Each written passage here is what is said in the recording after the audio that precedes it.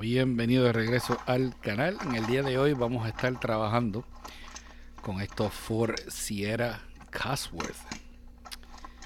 ¿Qué es un Ford Sierra Cosworth? Bueno, si no sabe lo que es, probablemente es porque este carro solamente fue producido por Ford Europa para el mercado de allá, de ese otro lado del mundo, del 1986 al 1992 y era un carro específicamente hecho para correr en carreras. Este carro básicamente usó un motor regular de la Ford. La Ford se comunicó con la compañía Cosworth, que es una compañía de ingeniería automotriz de Gran Bretaña, de, fundada por Mike Costin y Keith Duckworth si toma las primeras tres letras del apellido Castin y las últimas letras del apellido Duckworth, de ahí es que viene la palabra Casworth. Eh, ellos dos, al principio, si no me equivoco, trabajaban para la compañía Opel, diseñando motores. Cuando Ford se comunica con ellos, básicamente Ford le da el motor, ellos eh, desmantelan todo el motor usan el bloque y empiezan a diseñar de ahí para arriba. Básicamente lo que hicieron fue un motor de 2 litros y lo hicieron Twin Cam, doble palo de leva, ¿verdad? Entonces lo que hicieron fue, el motor se parecía mucho a lo que es el del Toyota Twin Cam, pero recuerden que el Toyota Twin Cam es solamente 1.6 litros, este era 2.0. Y la compañía Caswell hizo más o menos el mismo trabajo que hizo la compañía Yamaha con Toyota. Si no lo sabías, el motor eh, Twin Cam empezó como el motor sencillo 1.6. Toyota se lo dio a la Yamaha y la Yamaha fue quien diseñó la tapa arriba donde, donde están los dos palos de leva. Eh, si te recuerdas del Ford Taurus SHO, ese motor pasó lo mismo. Ford le entregó ese motor a Yamaha y Yamaha fue quien diseñó las tapas para arriba. Un carro que tiende a ser bien famoso y tiene buen caballaje, ¿verdad? De fuerza. Este carro, el, el Sierra, es conocido por, por el alerón que tiene la parte de atrás y tenía un, tope de velocidad de 150 millas por hora. En esos tiempos, bien, creo que era el único carro con un motor 4 cilindros que podía llegar a 150 millas por hora. Para comprar el motor Toyota del AE86 Twin Cam, llegaba alrededor de 121 millas por hora. Y eso era si tenía la versión japonesa. Pues si tenía la versión eh, americana, eh, la versión americana tenía menos caballos de fuerza. Este carro, eh, básicamente la Ford tuvo que hacer 500 carros mínimo para poder entrar este carro en las carreras, ¿verdad? Dentro del carro hicieron otra versión especial que se llamaba el RS200. El RS200 tenía un turbo más grande, que por eso era que tenía eh, tanto caballas este carro, ¿verdad? Eh, el RS200. Este carro tenía una línea de inyectores adicional por el lado, ¿verdad? El carro de carrera, todo eso trabajaba, todo estaba activado en el RS200, ¿verdad? Los inyectores estaban ahí, pero no funcionaban. Y era porque ese carro lo diseñaron tan y tan rápido que no le dieron tiempo de, hacer dos versiones, una para, para el sector de, carrera y otro para, el, para venderlo al público. Lo que hicieron fue que eh, todo estaba ahí, pero la computadora que usa el carro no tiene el chip para poder activar esos inyectores. Así que el, la versión calle del carro sigue siendo eh, más poderosa que un Toyota, pero necesitaría llevarlo a donde un ingeniero que le cambiara el chip a la computadora para poder activar esos otros inyectores que el carro tuviera más caballaje, ¿verdad? Es gracioso que este carro en, allá en Inglaterra era tan y tan rápido que empezaron a robárselo porque la Ford se gastó un dineral en el motor, pero no se gastó lo que se tenía que gastar en la cerradura de las puertas. Y era sumamente fácil robárselo. Entonces en Inglaterra se pasaban robándoselo al punto donde las compañías de seguro dejaron de asegurar el carro. Y la policía, el que tenía un carro de esto, constantemente se pasaba parándolo para preguntarle solamente a ver si tenía seguro, porque muchas compañías de seguro dejaron de asegurarlo. Y aquí puede ver como que después de una hora, hora y media, usando los, los dry markers, le pude remover todos los tampos, poco a poco. Uso el alcohol para removerle el residuo que le queda de la pintura del tampo, porque a veces se queda un poco pegajoso. Y después uso el MacGyver's de pulir plástico. Trabaja muy bien para pulir la pintura y si cae en el cristal que es plástico, pues también lo pule también, no, no, no hay ningún tipo de problema. Aquí como pueden ver, eh, estoy usando tape 3M para enmascarar y pintar las luces traseras. Estoy haciendo usando un Sharpie gris metálico para hacer la base, para después añadirle los colores. Lo bueno de hacer dos carros es que te da tiempo de, mientras trabajas en uno, el otro ya se está secando. Y vamos a ir poco a poco aquí.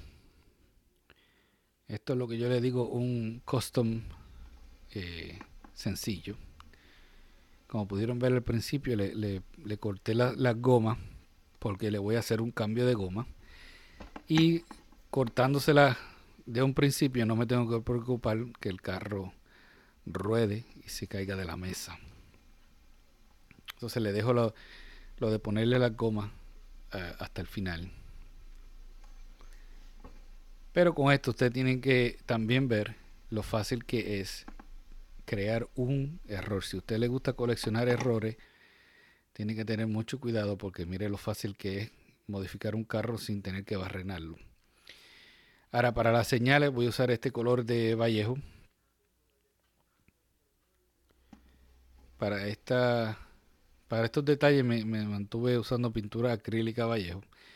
Lo bueno de eso es que si la pintura se, se mete por debajo del tape y se, se pasa, ¿verdad? Se corre, arreglarlo es fácil. Más adelante le voy a enseñar eh, cómo se hace eso, ¿verdad? Y estamos trabajando poco a poco con un pincel con punta de de silicón. Todo lo que uso en este video va a estar abajo del video en la descripción con una lista completa por si tiene alguna duda.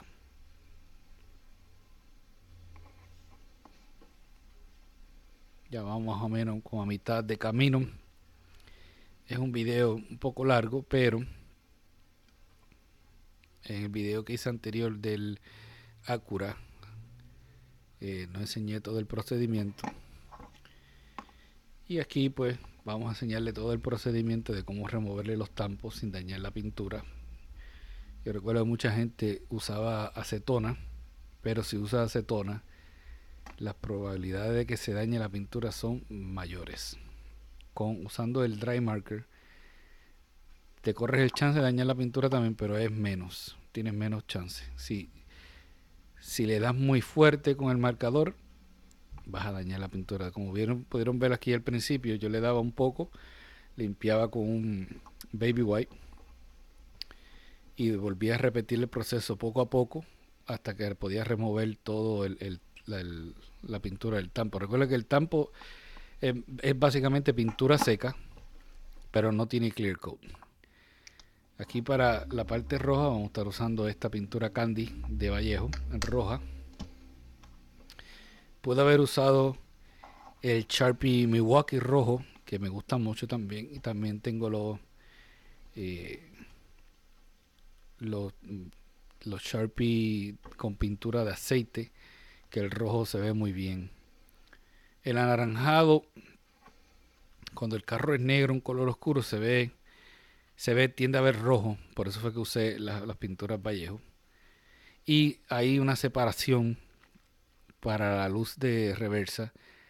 Y por eso es que no usé el, el otro marcador también.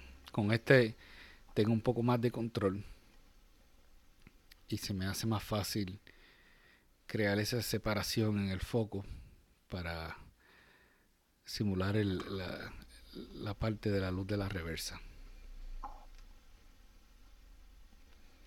Y poco a poco, pues esta pintura viene lista ya para pintar con airbrush, así que tiende a ser un poco líquida, bien aguada. Entonces hay que ir armándolo poco a poco.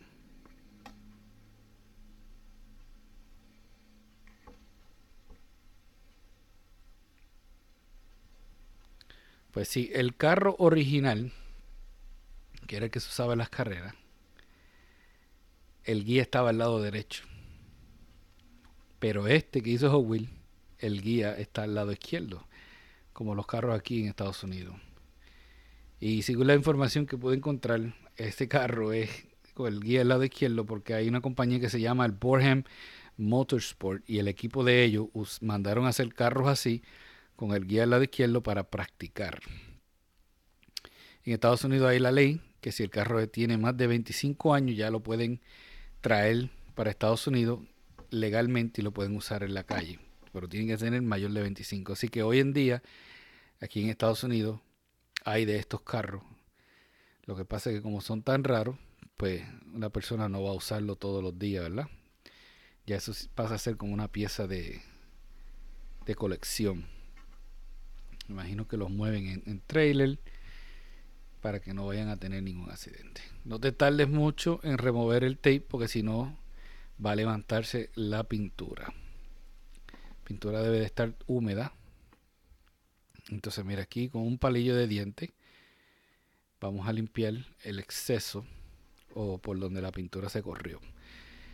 Ahora vamos a proteger, vamos a usar este Vallejo hace estos dos eh, clear gloss, ¿verdad? El que es premium tiende a ser más licuado, ya viene listo para airbrush, pero el otro que estoy usando es la versión viejita y es más gordo, como pueden ver es casi como un gel. Entonces aquí con el pincel puedo cubrir. Lo malo de estos clear acrílicos son polietileno acrílico es que se tardan cuatro horas para secar. Por eso es que típicamente cuando yo hago un custom no lo uso para sellar el carro al final, porque se tarda, se tarda mucho tiempo. Pero si usted hace un custom, le puede tirar el clear normal y deja los detalles para lo último. Si, si se le daña, lo puede sacar con un palillo de dientes y después al final lo puede cubrir con este acrílico poliriterano, creo que así que se dice en español lo único que ahora en adelante hay que tener mucho cuidado de no tocarlo porque como le dije se tarda cuatro horas para secar. Vamos ahora a bregar con el cambio de gomas. Hay varias maneras como de la manera que usted puede hacer esto. Hoy en día venden este sistema de tres piezas que es un tubito finito, finito, igual tiene el mismo grosor que un eje regular. Entonces viene con dos puntas más finas aún ¿verdad? Que se le pone así. Tendría que usar pega. Y eso es lo que tiene la cabecita para que la goma no se salga, ¿verdad? Ya yo tengo un lado pegado. Esta no es la goma que vamos a usar, ¿verdad? Pero la vamos a usar de, de ejemplo. Ve, ahí ya no se sale. Entonces, como es de tamaño original, usted la pone por ahí. Y al otro lado viene con el pedacito, el otro pedacito, con pega y ya la goma instalada. Se lo ponen y ya. La otra opción una barrena tamaño 1.16. Tiene el tubo eh, de brass 1.16. Y después puede usar los ejes originales por la mitad. Y lo usa con pega y lo mete. El problema con ese sistema es que usar, eh, si va a usar un taladro o lo que le llaman el taladro de mano, el pequeñito, la probabilidad de que usted haga un hueco o agrande el canal exactamente, perfectamente como tiene que ser, es bien difícil y puede que le quede virado el eje y el carro se va a ver eh, virado, no va a quedar derecho. Ahora, esto es para mí, yo no lo voy a vender y esto básicamente lo que va a estar es en, mi caja de, carros. De vez en cuando yo lo voy a sacar para verlo, que eso es lo que se hacen con, con los carros que están en la colección, ¿verdad? Entonces yo voy a usar este otro método. Y estaba meneando la pega. Yo uso pega de gorila en gel. No puede ser la pega regular como eh, Crazy Glue o pega loca, que sea bien líquida. Tiene que ser en gel. Entonces yo aquí ahora vengo, lo pongo ahí. Uso unas pinzas de puntita para empujar el, el eje, asegurándome de que esté completo ahí. Y ahora lo muevo para asegurarme de que no se pegó del, chasis, ¿verdad? Para el carro negro estoy usando unas gomas que tenía unos, aros de 10 patas atrás y unos aros de 8 patas al frente. Voy a cortarle otro pedacito del eje para asegurarme de que entre completo y no toque el que ya está instalado por el otro lado. ¿Verdad? Por ahora no me estoy preocupando del carro, cómo se va, de la altura, que si está virado. Todavía tenemos tiempo para eso. Más adelante yo lo voy a enseñar. De ahí. Esperamos unos segunditos.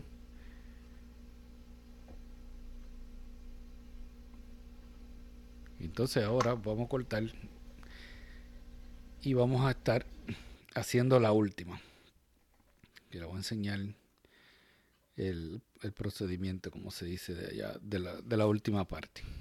Volvemos otra vez con la pega.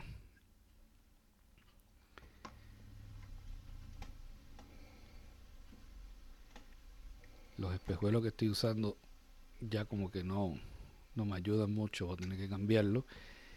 Ahí lo puse, empujo el eje, espero un segundo Mira, la, la otra que había hecho estaba un poco trancada, la meneo. Esa también. Ahora, la última que hicimos, ahí se liberó. ¿Verdad? Y ahora hacemos esta función para asegurarnos de que la pega se seque entre medio del aro y el chasis para que no se tranque el carro. En este momento el carro azul corre más suave que el negro porque el negro está más bajito, ¿verdad? que el propósito de hacer un cambio de rueda es que el carro se vea como tú quieras, ¿verdad? Casi siempre se ve mejor bajito, más pegado del piso. ¿Qué pasa? Que yo le estoy dando tiempo a la pega a que cure, pero miren esto.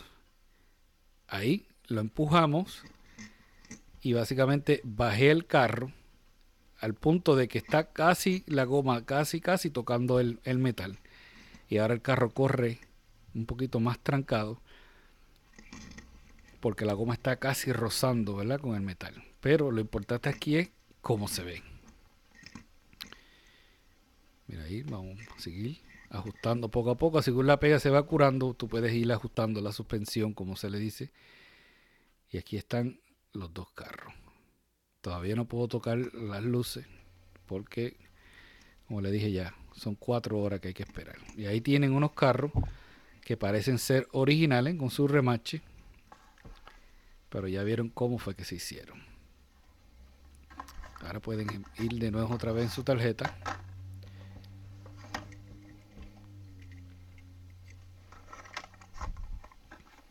Y ahí cómo se ve. Y más adelante les voy a sacar una foto para que los vea uno al lado del otro.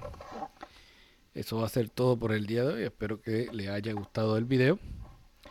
Sabe que si el video les sirvió de enseñanza, a favor darle like y compártalo con sus amistades en las redes sociales. Así que eso va a ser todo por el día de hoy. Muchas gracias por visitar el canal. Hasta luego.